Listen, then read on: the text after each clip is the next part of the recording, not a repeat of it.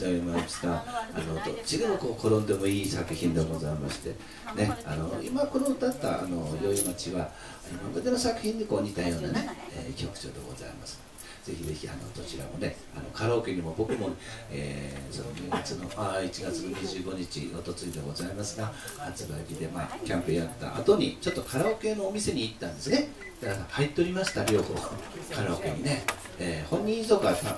映像はまだ入ってませんけど多分2月までには入れそうだという、ね、話でございますから、ちょっと女性の方とあの絡みがございますからね、えー、ちょっとジャンバー着て運転してますから。え映像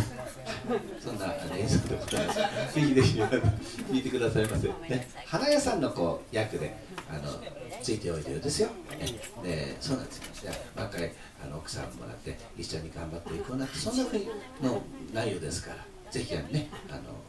画面の方も見て、ね、いただければありがたいなと思っております。まさしく幸せ演歌でございますね。ですから、まあ、ポイント皆様にお伝えしたいと思いますけれども先ほど一番冒頭でも歌いましたけどね軽く歌ってください。あんまりこの息込んじゃうとちょっとこの歌あの